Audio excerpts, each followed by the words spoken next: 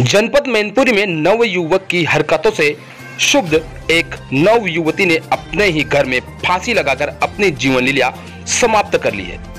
सूचना पर पहुँची पुलिस ने शव को कब्जे में लेकर पोस्टमार्टम के लिए भेजा तो वहीं परिजनों की तरहीर के आधार पर मुकदमा दर्ज कर पुलिस आरोपी की तलाश में जुट गई है।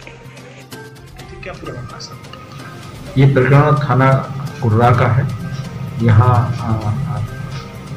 अंबरपुर गाँव में एक इक्कीस वर्षीय युवती ने अपने ही घर में फांसी का फंदा लगा के आत्महत्या कर ली गई थी। इसके संबंध में युवती के पिता द्वारा थाने पर एक तहरीर दी गई थी, जिसके आधार पर मुकदमा पंजीकृत किया गया है।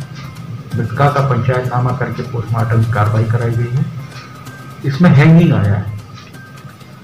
और जो नामजद अभियुक्त है उसकी गिरफ्तारी के लिए। सर बताया जा रहा है कि युवती को कोई धमकी वगैरह दी गई थी युवक द्वारा इसी के संबंध में मृतका के पिता द्वारा तहरीर दी गई है जिसके संबंध में